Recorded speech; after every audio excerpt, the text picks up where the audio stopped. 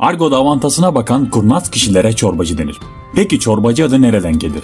Çorba Osmanlı İmparatorluğu'nda Yeniçerilerin her gün yedikleri yemeklerdendi. Divan-ı Hümayun toplantılarının yapıldığı gün verilen kahvaltı çorbası ise çok önemliydi. Çünkü dağıtılan çorbanın içilip içilmemesi Yeniçerilerin devlet idaresinden memnun olup olmadığını gösterirdi.